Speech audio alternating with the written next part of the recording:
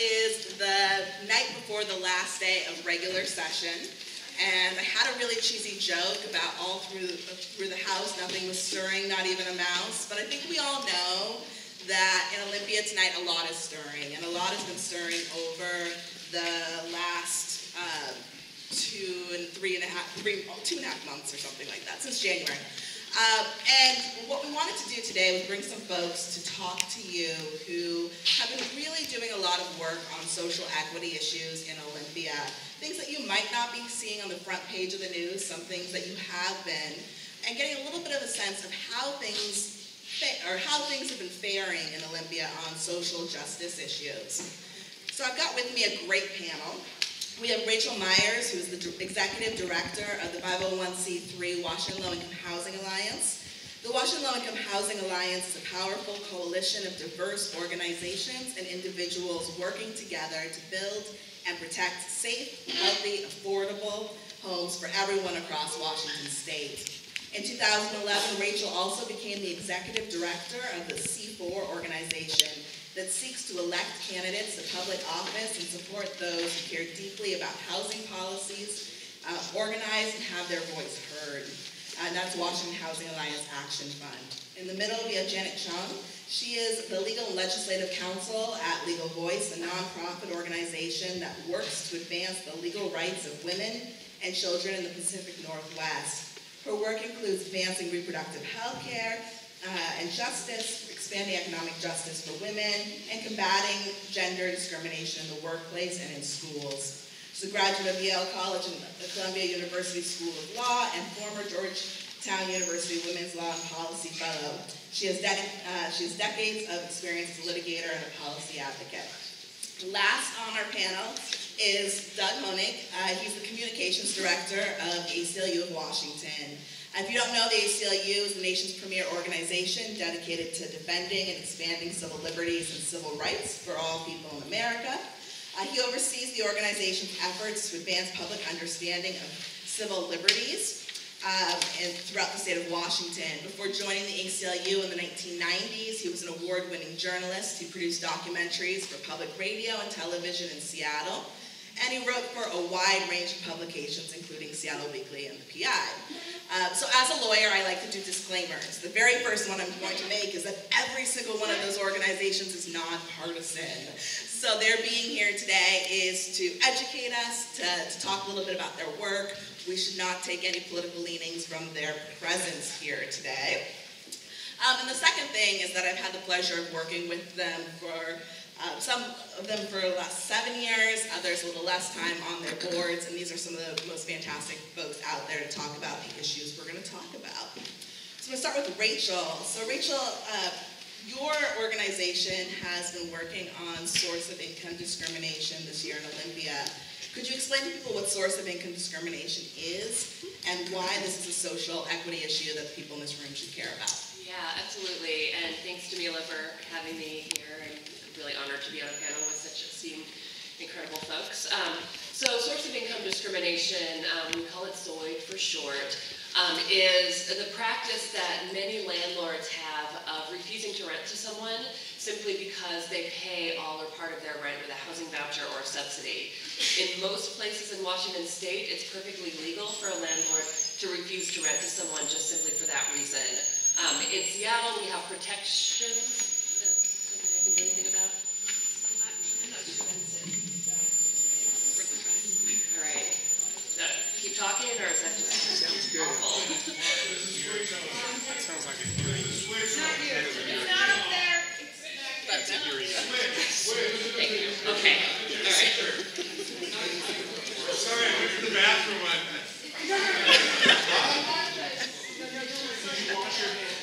I did, I did. Right. That very dramatic, but I think it's over now, so thank you. Um, so in, in, in most places in Washington, like I said, it's perfectly legal for landlords to um, refuse to rent someone just because they pay all or part of their rent with a housing voucher or another type of subsidy.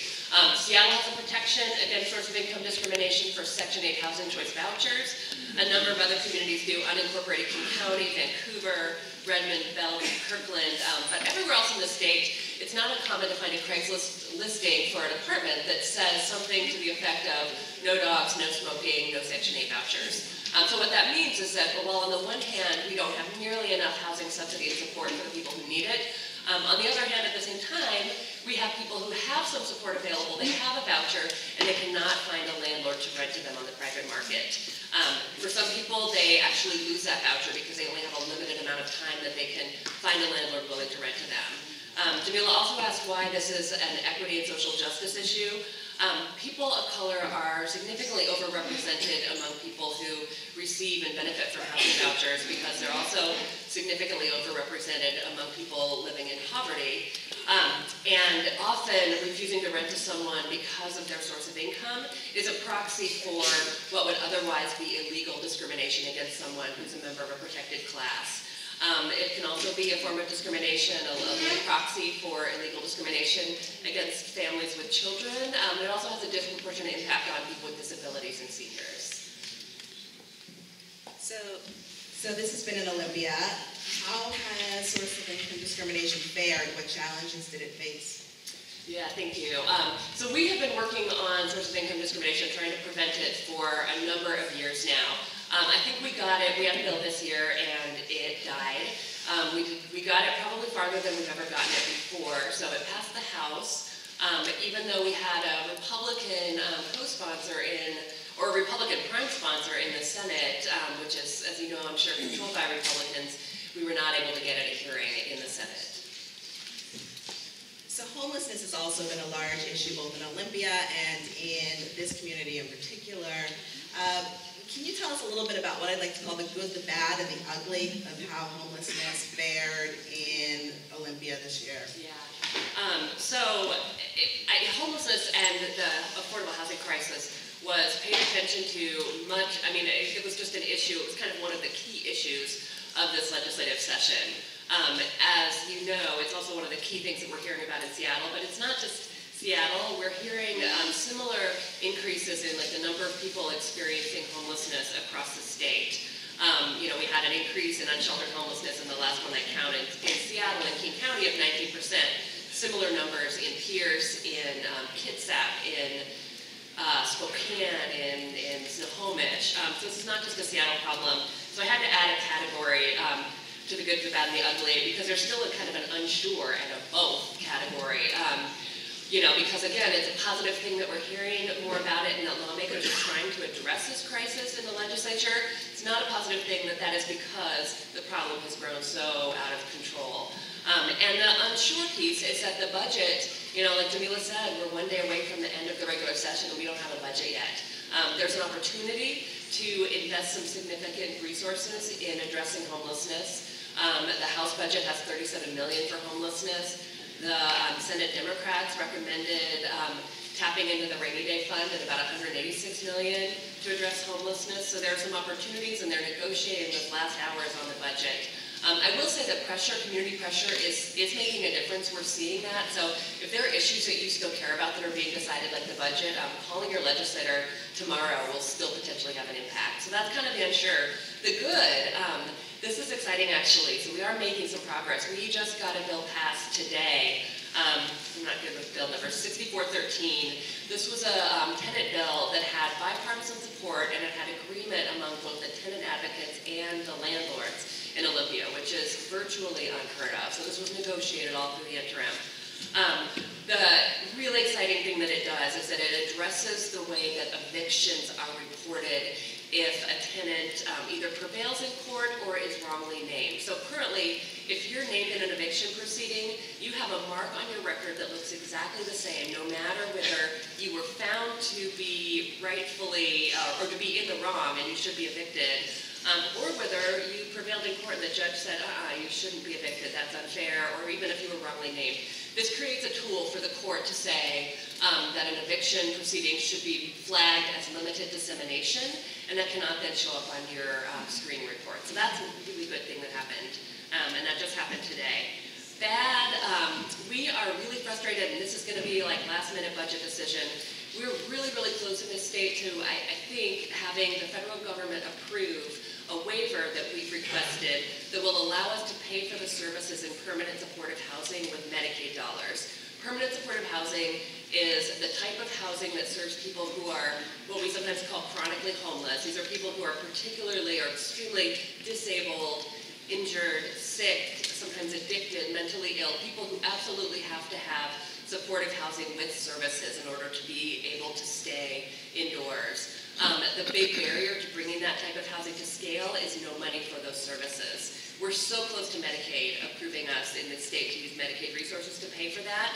Um, and for some reason that I don't fully understand, um, the Senate Republican budget, the Senate um, operating budget has a weird clause that says that the state cannot accept um, those dollars and cannot accept Medicaid dollars without approval from the legislature. Um, that would essentially just ruin our chances to create this waiver. So that's a frustrating thing. And, and lastly, the ugly. Um, I said I don't understand the dynamics, but I think I do. Um, the, the thing that I think is ugly right now is the amount of things that are kind of falling by the wayside or not progressing because of politics. Um, not because they're good or bad policy, but because of politics. Um, I believe that the Medicaid language is not gonna, it was inserted in the budget because it was an effort to undermine the governor by undermining the healthcare authority and by saying we can't trust the healthcare authority, um, looking towards the 2016 elections. The 2016 elections are impacting a lot of decisions. Um, and the source of income discrimination bill, um, even the Senate, the chair of the committee who ultimately stopped it from moving forward, told us that he agreed with us, he supported that bill personally, but he could not um, he could not counter the landlord lobby during election year. So kind of the election year politics are having a significant impact on our, our ability to get things done. Thank you, Rachel. That's a lot to cover in a short period of time, so we really appreciate that. Uh, so Janet, uh, I've been seeing a lot of calls to action with um, uh, with photos of pregnant workers, and I was hoping you could talk to us a little bit about what this is about, what the Fairness, uh, the Pregnant uh, Worker Fairness Act is, and what where it's at right now. Yes. Well, I'm glad that you're getting those emails and seeing those pictures because that means that uh, some of our communications are reaching the right people. And we have, um, I do have, um, I guess, some positive news, which is that the bill is still alive. Let me talk a little bit about what um, this pregnant worker fairness bill is and um, why it's one of our top priorities this session um, at Legal Voice with our allies. So um, much of this you already know, that three-fourths of women in the U.S. at some point um, in their lifetimes will be pregnant and working. Um, we're not in the Mad Men era anymore. it's not a situation where women work for pin money to supplement the family income. Families depend on women's incomes. Um, and so it's particularly crucial that we ensure that they maintain those links to the workplace. But what happens to too many women still when they become pregnant? Um, well, we know from a health standpoint that it is safe for women to work well into their third trimester, and often uh, I've heard stories of people, right?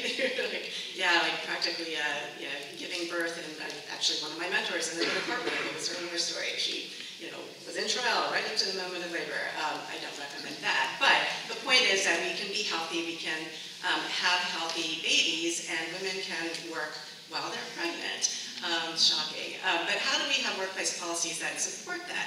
Um, well, I'll tell you right now that we, we don't really. Um, what happens a lot, in fact, is that women are asked to go out on leave um, because their workplaces think that they aren't able to provide the accommodations that will allow them to keep working. Um, but in fact, most of what pregnant women need are things like being allowed to sit periodically or go to the bathroom more frequently or carry a water bottle onto the shop floor. Um, things that really aren't going to impact their ability to do the work effectively. Um, but one in 10 women who ask for these kinds of accommodations are refused. And again, many are um, instead put on unpaid leave um, or are uh, fired. And so we do have laws that protect against pregnancy discrimination, but when you think about what it takes to actually enforce those rights, it's quite difficult.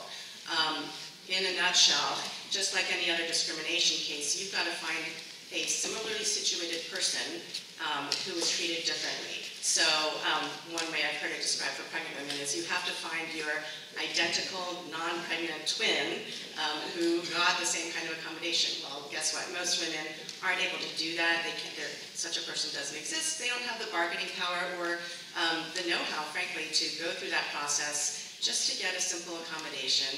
Um, and all of this has to occur within just a short period of time that they're pregnant and need that. So what this bill would do is require employers um, to provide reasonable accommodations um, during pregnancy and um, provide some enforcement. So um, we thought it was a pretty simple bill, and like I said, um, we are clinging on to the hope that it, um, it still has a chance of surviving. It has made it through the House. Um, There was a House version, there's a Senate version.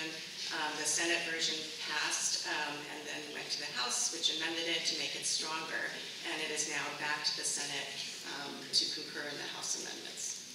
So if anyone wants to send an email or call a legislator tonight, that would be fantastic. Uh, Thank you. You also have sort of in your, your advocacy portfolio, uh, reproductive health and women's health. Um, I guess the same good, bad, and ugly question for you about legislative session this year. Yes, well, so that was my, my good part, is that that bill has survived. And uh, what's been interesting from my perspective is to see a lot of discussion, um, which is exciting, about um, women's rights bills, um, about advancing gender equity in the workplace, um, advancing women's health. And um, so what I would say to you all is to be careful when you hear people saying they're working on these things because, um, as I said about our equal pay bill, which died, not all equal pay bills are equal. Um, and that is true about contraception coverage bills, um, pregnancy accommodation bills. So almost all of those subjects that I just mentioned, we saw counter bills being proposed um, as striking, striking amendments or um, in the pregnancy accommodation situation, a complete um, different bill that was backed by business. Um, I will say, probably the first time I've heard um, testimony from the NFIB or um, like uh, organizations actually asking the legislature to pass uh, labor standards and asking that the Labor and Industries um, Agency be given authority to enforce it. Yes, that really happened. Um, But uh, on all of those issues, um, we saw uh, the bills get whittled away, and ultimately, many of them did not pass. And so, and then the contraception situation, um, the bill that we were working on with our allies would have asked insurers to provide um, coverage for dispensing 12 months of contraception at a time. Um, Real briefly, that's because we know that if you can get um, more uh, birth control pills um, or um, access to birth control, people are more likely to stick to it and um, reduces unintended pregnancies versus um, what happens mostly is women have to go back every month, or every three months, um, and that causes disruption often, and it's difficult, um, another barrier to access for people, particularly who don't live near um, a pharmacy, and sometimes they get refused. So we thought that was a pretty simple, straightforward bill, and even that um, did not end up passing. Um, So on the uh, women's health side, it has been a bit disappointing. Um, And then instead, what we've seen is bills advancing that would really cut back drastically on um, women's health access. We saw for the first time an attempt to um, strip away Medicaid coverage for our most vulnerable populations um, for elective abortions. Um, And it went far beyond that. Actually, it would have stripped all state funding from um, an entity that um, received funding and provided abortions. So not just the Planned Parenthoods, but any, um, any of the clinics that receive Medicaid funding and provided abortions for all of their services. Um, That didn't pass, but it was there. We didn't see bills like this before. We also saw um, uh, a return of parental notification bill, uh, an attempt to limit minors' um, access to reproductive health. And we also saw, this was um, a new one for Washington State and a really frightening trend, a bill to ban what they call sex-selective abortions. Um, That is, abortions that are um, supposedly for the purpose um, of, uh, or based on the uh, sex or gender of the fetus. Um, The purported theory is that um, Asian Americans um, bring with them from their home country these um, uh, outdated and um, discriminatory views on girls. And so it was spun as a bill to protect unborn girls. But again, really just an attempt to frighten um, Asian Pacific Americans in particular, um, and the physicians um, from uh, providing health care, because it would have criminalized um, those types of uh, abortions. Um, It would have made it criminal for the providers. Um, So anyway, that's a bit of an overview. Um, I guess one bright spot is that um, we did see some progress um, and the passage of a bill that we have been working on for two years um, create a system to track rape kits. So something that is long overdue. Others are working on around the country, and we did see the legislature pass that. So, and I know. Great, thank you. Next, Doug, to the microphone there. Uh, So the ACLU spends a tremendous amount of time every year working on legislation that relates to civil liberties. Um, One of the priorities this year, many priorities, but one of the priorities was um, legal financial obligations, or LFOs. Can you explain why that's a social equity issue? Sure, gladly. And uh, Janet made a very apt reference to a TV show, and she said we're not in the Mad Men era. I'd like to go back a little further and use literature and refer to Charles Dickens. I think we all read about debtors' prisons back in high schools, Dickens or other authors, and we're so proud that we're modern Americans and much more enlightened than this, and we no longer throw people into jail simply because they are too poor to pay off their debts. Guess what? We do here in the state of Washington. Uh, not in Seattle, but in other parts of the state, what happens is the legal financial obligations are uh, a variety of fees that are imposed by courts on top of a criminal sentence, which you either get a fine or jail time or whatever for your criminal sentence. Beyond that, the court imposes a a whole host, some are mandatory, some are discretionary, of legal financial obligations on individuals, and that's considered part of the sentence. Uh, These can range anywhere from $100 to several hundred to several thousand or more dollars. Interestingly enough, they uh, accrue interest of 12% a year, including when you're incarcerated. Uh, Because there's another author involved in this, which is Franz Kafka. Some of the stuff literally doesn't make much sense. And the, the problem that we see, and the reason it's an equity issue especially, is the impact on low-income people. As a middle-class person with a decent job and salary, if I had a thousand dollar uh, bill to pay, I either get a payment plan or I write a check and get rid of it so I'd be done with it. But for indigent people who are very marginal with their income and just trying to struggle to, stay afloat, often they can't afford to pay more than 25 $50. Guess what happens? At some point, they'll lose a job, they fall behind on their payments. In some part now, uh, judges are supposed to inquire as to a person's ability to actually pay. The problem is in some parts of the state, they don't do this. And so people actually end up getting sent to jail because they are too poor to uh, pay off their legal system debts. We, we had one instance where a person was jailed because they didn't show up for a hearing over this issue. Well, the person was homeless. They never got the notice telling them to appear in court. When they finally did get it and showed up, the judge bawled them out and sent them to jail. This is the kind of thing we're dealing with. So there was a bill introduced, 1390, last session to put reforms in this system. It sailed through the House of Representatives in an incredibly bipartisan vote, pretty unusual these days, 94 to 4. It got into the Senate, was uh, assigned to the committee of a very conservative Republican from Spokane named Mike Padden, who essentially gutted the bill. End of story. This year, the bill was reintroduced. It sailed through the House 97 to 0, tremendous bipartisan vote went to the same committee, got rewritten by the same individual, but this time moved out of his committee, so it's still alive. It has in there what to us is a deal breaker, which uh, basically undermines a wonderful court decision saying that judges actually have to ask people if they can afford to pay these fines before they impose them. That's in the, that gets into the Homer Simpson category of, duh, why wouldn't you do that? Well, one reason is in some jurisdictions, they think they can fund part of the court system off the backs of poor people.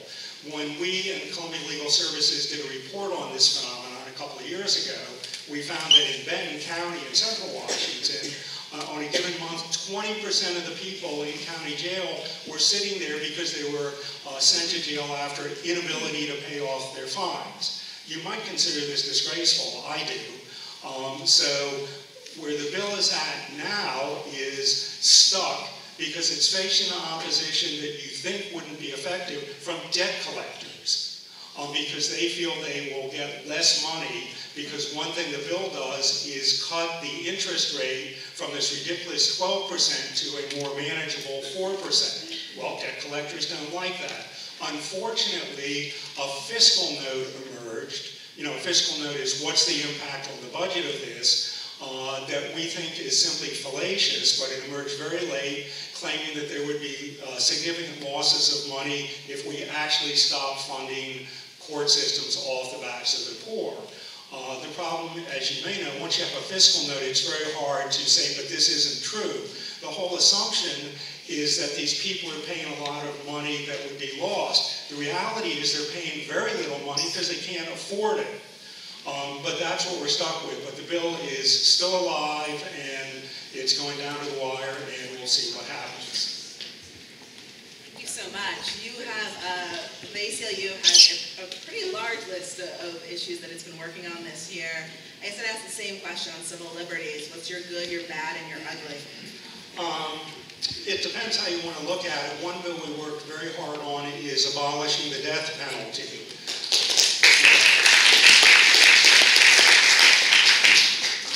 Thanks. And, and, and, your applause illustrates the good, which is there's been a tremendous shift in public opinion in recent years so that this is now seen as a mainstream issue, that its time is coming pretty close. The Seattle Times, the Spokane Spokesman Review, and other papers have said, let's get rid of the death penalty. We did a lot of work very quietly talking to Republicans because of the situation in the Senate and we think that there are now enough Republican votes, in addition to Democratic votes, that if there were votes on the floor, our state would vote to abolish the death penalty, which our less progressive friends in Nebraska did this year under Republican leadership, believe it or not. Uh, unfortunately, this being an election year, uh, there was a feeling on both sides of the aisle that this is still a controversial issue, and there was a reluctance to have an actual vote for it. Um, the good news, so that's the bad news. The good news is we think next time it comes up in a non-election year, chances are better than ever that it will pass just because the case has become so compelling. One very interesting phenomenon is Tea Party Republicans who support abolishing the death penalty because we, we say, you tell us that you don't trust the government to do anything. If that's true, why would you trust the government to make the decision to kill people? I like that point for sure. Uh, Can I throw in one more? you absolutely can. Yeah, the Washington Voting Rights Act is another one you may have heard about. It's been around for several years. The, the background to this uh, is partly an ACLU lawsuit in Yakima, which, although the city is 40% Latino, had never elected uh, a Latino to its city council. Uh, they even had a situation where the Latino was the only person running because the other person dropped out of the race, said, don't vote for me, I'm not running.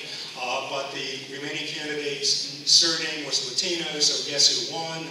Uh, whereupon the Caucasian candidate decided, oh, I guess I will serve the term. So we filed a lawsuit that has been successful, saying that this situation violated the Federal Voting Rights Act. The court accepted our proposal for new districts. The result was this fall, not one, not two, but three Latinas were elected to the seventh council. Now, this, the city of Yakima fought this tooth and nail. One result of that is that we as the prevailing party have been awarded by the court $1.8 million in legal fees. And of course, as a nonprofit, we put this into our fund to bring other civil rights litigation and work around the state. In addition, the city spent a million dollars of its own on outside attorneys, uh, all in a losing effort. The Washington Voting Rights Act is designed to give a more effective alternative that doesn't necessarily incur, all this expensive litigation and provides a whole system for local jurisdictions that are threatened with litigation because of unfair election systems to negotiate a settlement short of litigation that resolves this. Uh, it passed the House uh, again this year, and now it's stuck in the Senate. It's another one that's just going down to the wire, and it's hard to see exactly how it will turn out. The main opposition this year is from the Association of Counties, which doesn't like the bill, even though the bill has been rewritten numerous times to accommodate most of the objections that have been raised. We still have county officials lobbying. Great, thanks so much. We have a few minutes for questions if anyone has any. Ivan? Two questions for Doug, please. You talked about the fiscal note about imprisoning people for um, debts for not paying their fine. Did that fiscal note mention the cost of incarceration? That's a good question, and I'm not sure, I haven't seen it, it just came very recently, but that's an issue, you're absolutely right, that's an issue we've raised, that they're looking typically at the amount of money um, that they get through the fines, and we said, but you're putting people in jail, and that costs a lot of money too. People who want to dig into the issue, we have on our website a report that you can Google debtors' prisons, and it gets into that issue in great detail, but that's a very good point. Next quick question. What you did in Yakima, when are you going to do it in Burien?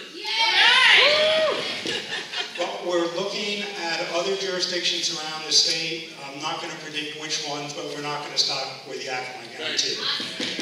Chris? Just on a numbers note, and then I actually do have a question.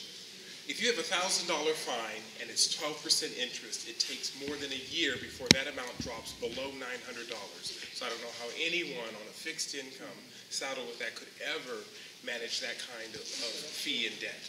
My question, however, is, um, and I know that part of this is, is a, a federal law too, but when felons come out of prison or jail and they are seeking housing, if they return to a family member and that family member is receiving Section 8, they're at risk of losing that. Is there any effort to work at the federal or state level to turn that around because that just feeds recidivism uh, by not securing housing?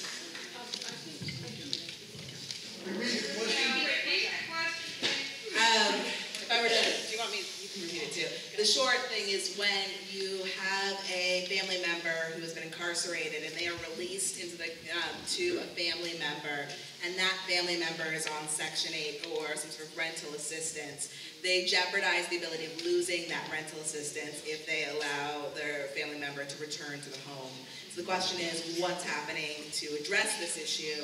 And I'm gonna give that to Rachel. Sure, and that's um, one, and not the ol not the only barrier to people accessing housing who are leaving correctional institutions. Um, I think there are a lot of people talking about addressing that. Um, I don't know that anybody right now, given our current, um, you know, dynamics in Congress, is very hopeful for getting any major changes there.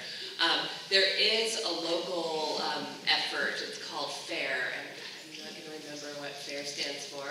Um, fairness and what else? No, it's F A R E. He doesn't know what he's talking about. Um, it's, a, it's a local, a local coalition effort um, in Seattle that we're participating with. That's trying to figure out what are the what things can we do to reduce barriers to housing for people who have left um, the criminal justice system. So there are efforts for that. That specific issue that you're talking about, I'm not. I'm not sure that there's much that um, anybody's got a lot of hope we can do about changes at the federal level because that's federal law. Okay, we've got another question. I'm Lisa Flynn, I'm asking you also, Rachel, um, I'm all for funding housing, but how are you gonna get the money out, if if you were allowed to take the money out of Medicaid, when we don't have enough Medicaid funding to pay for healthcare services? Um, so Medicaid is an entitlement service, so if people qualify for Medicaid, um, those funds will be available to pay for the services, to pay for the healthcare services that are deemed Medicaid eligible. Um, the, we expect that if we get this waiver, we expect $54 million of new Medicaid dollars to flow into our state um, to cover those services. Yeah, so new federal money. Any One thing, actually, can I add one more thing um, that I can't believe I highlighted and I was like, I must say this. Um, because you guys are in the 34th, you're in the fighting, the kicking, 30, kicking, I can't read the fucking So, what, what- whatever you are, the 34th District Democrats. Um, two of your, I want to just acknowledge Senator Nelson is, um, Senator Sharon Nelson is the, one of the biggest champions for um, addressing homelessness and affordable housing and doing many other wonderful things in Olympia. So you are so lucky to have her. And um, Representative Eileen Cody is our very best champion right now for making sure that we get this horrible language out of the Senate budget to make sure that we do get that new Medicaid resource coming into our state. So you have some of the very best folks. Um,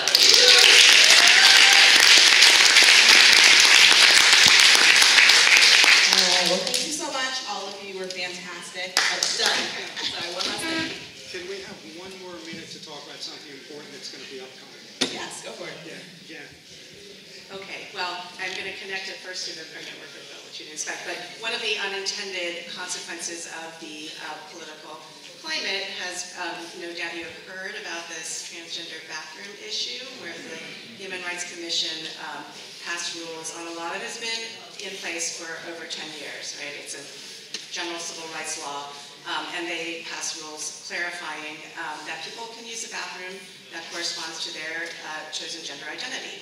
Um, well, one of the um, effects of that whole brouhaha on the pregnant worker bill, and then I'll pass it to Doug to talk about what's coming next, was um, that the enforcement got punted around um, for pregnant worker bill, which should have been in HRC, and um, as a result, it ended up in the Attorney General's office, and that was just um, frankly insane. Um, no other bill like that in the country. Um, they're all in the human rights law.